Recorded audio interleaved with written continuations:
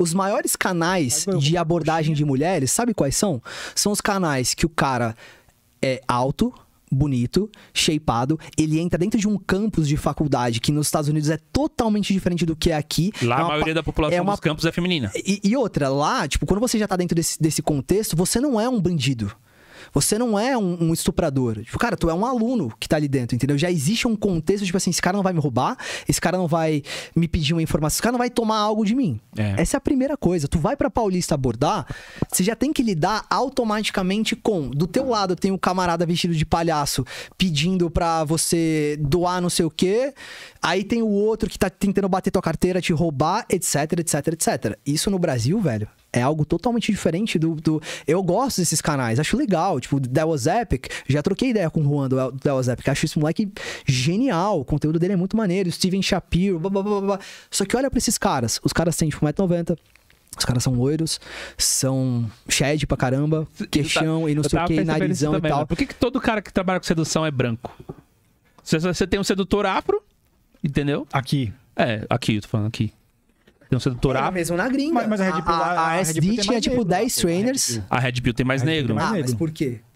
Porque o mercado sexual negro tá mais fudido do Tá que mais o. fudido. do E o, mundo. e o negro sofre mais em geral, velho. No em várias mundo, questões, o, é o óbvio. mercado sexual negro lá é, é, assim, Foda. discrepante É óbvio, é do óbvio. mercado sexual genérico. Mesmo na RSD, que sempre foi o meu modelo de empresa, tipo, o Owen, ele foi. O Tyler, né? A galera chama de Tyler por causa do, do, do- do Fight Club e tal.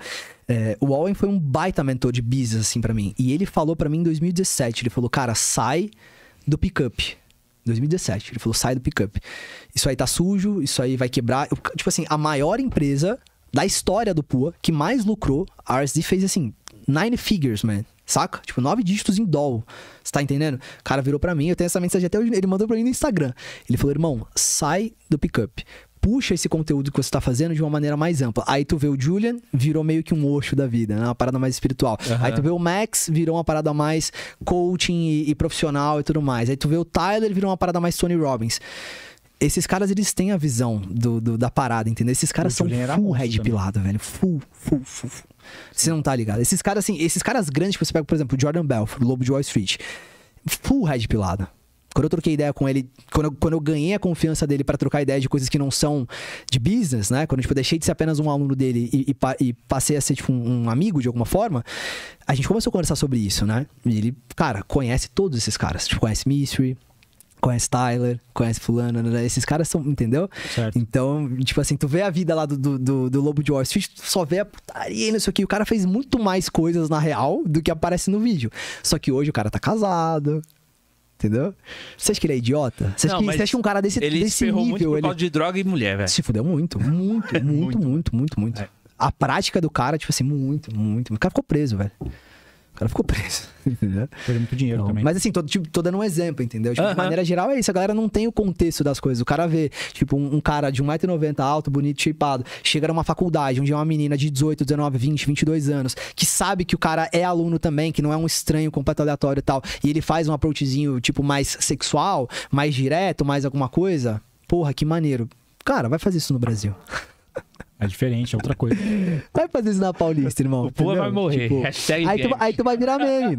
Aí tu vai, aí tu vai virar meme na internet. Aí tu vai virar, tipo, ah, o cara foi lá e abordou a mina, olha que não sei o que, que parada extremamente agressiva. É. E tadadada. quando o cara, as coisas que eu trato ali naquele vídeo, de uma maneira geral, são as coisas mais red pill que existem, velho. É óbvio que pra você chegar na intimidade de uma mulher, você precisa, em algum momento, causar um desconforto, por exemplo. Causar emoções que não são emoções fofinhas Sim, e sim, docinhas, etc.